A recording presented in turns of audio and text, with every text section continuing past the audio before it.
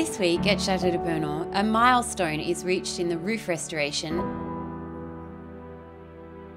allowing a centuries old tradition to be observed by our roofing artisans.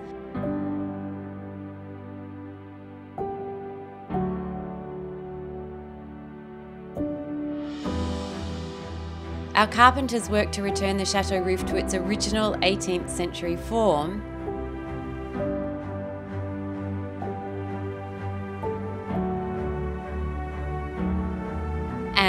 After a long winter, the arrival of spring sees us working to get the chateau grounds under control again.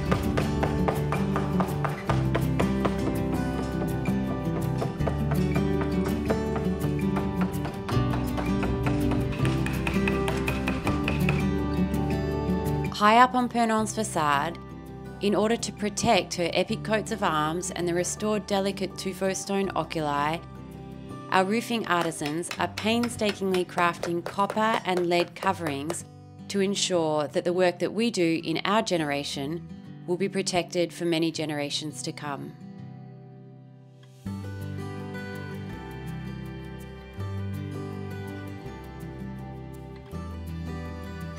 So the stone here was terribly degraded and the stonemasons have now finished redoing all the stonework here and our architect has decided to put this protection on top of the stones to protect the stones for a long time to come because the tuffeau stone is very subject to bad weather and so it degrades quite easily. Alors pour commencer on a mis une bande en cuivre Oui, pour venir agrafer le plomb dessus oui, qu'on vient pistonner avec des chevilles en plastique et des clous cuivre. Comme ça il se tient bien à la pierre.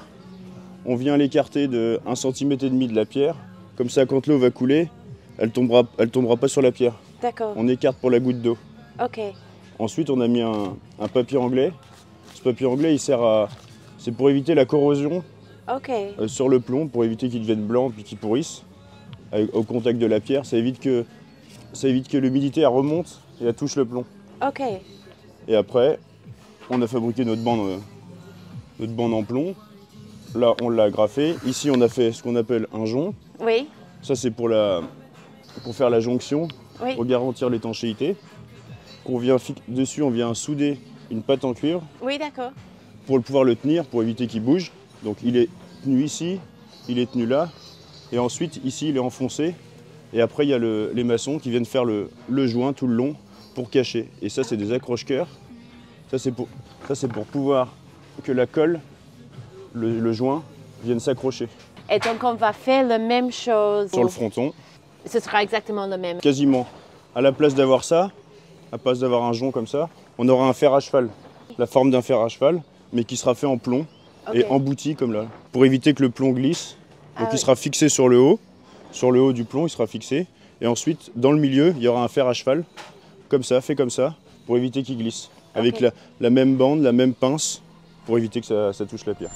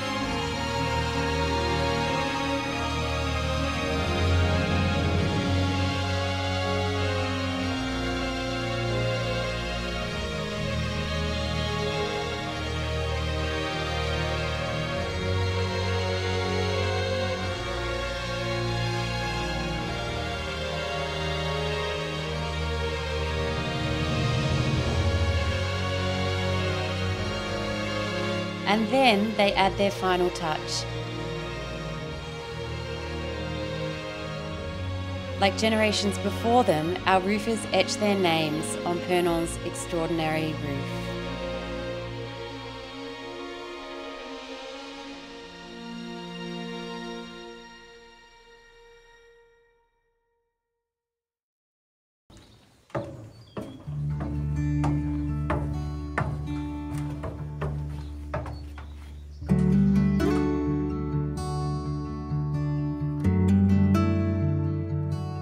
So when Chateau de Purnon was constructed at the end of the 18th century, there were no gutters installed at roof level. Water would have run off the bell-shaped slate roof and landed directly in the dry moat, where a system of stone gutters would have channeled the water into several large cisterns. It was a system that probably worked reasonably well. Fast forward to the end of the 19th century and the Marquis de Rochekelle purchases Purnon in 1893 and he starts a grand program of modernisation. And one of the things they do is they install zinc guttering along the top of the stone cornices that you can see here in front of me.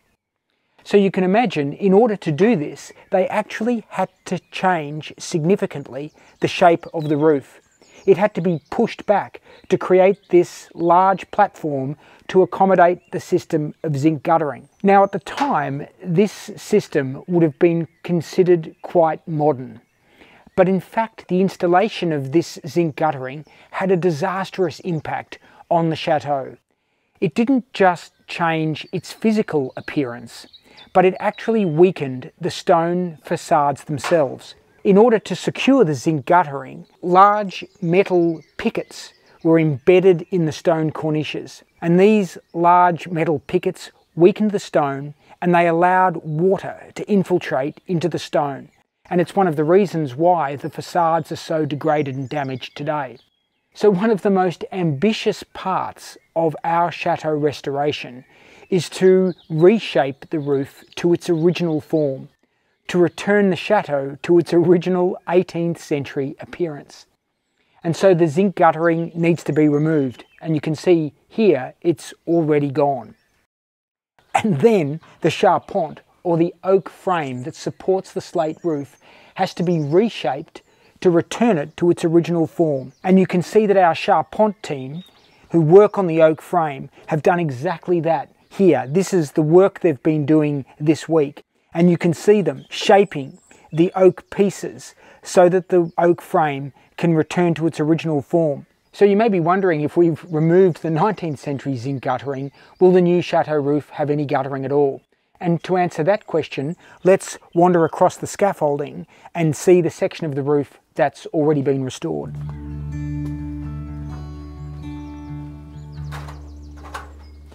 Here you can see the work that the roofing team have done this week to protect this stone pediment. And you can see the restored blason or coats of arms of Monsieur Achard de la Haye and Madame de, de la Motte who constructed Purnon.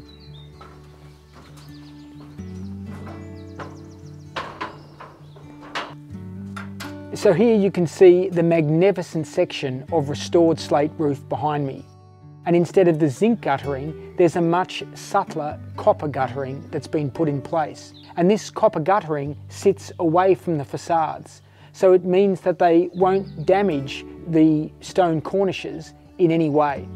And it also means, most importantly, that the roof has been returned to its beautiful original 18th century form.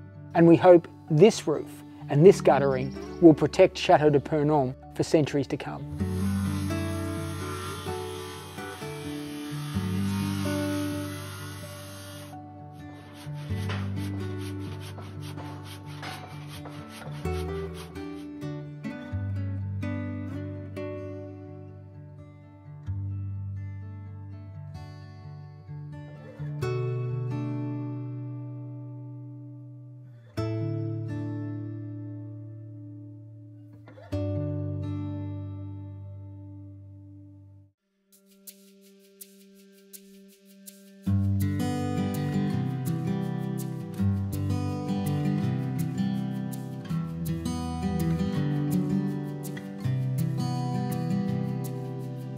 The welcome spring months have arrived and the chateau grounds are blooming back into life.